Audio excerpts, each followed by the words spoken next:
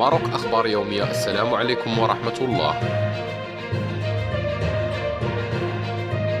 شوفوا شنو وقع لعمال وعاملات معمل للنسيج وسط الفيضانات.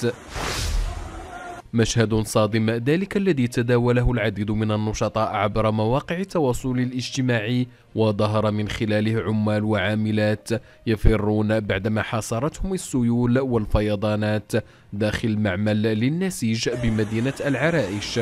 وقد تسببت الأمطار القوية والتي تهاطلت طيلة هذا الأسبوع في إغراق عدة أحياء في المدينة.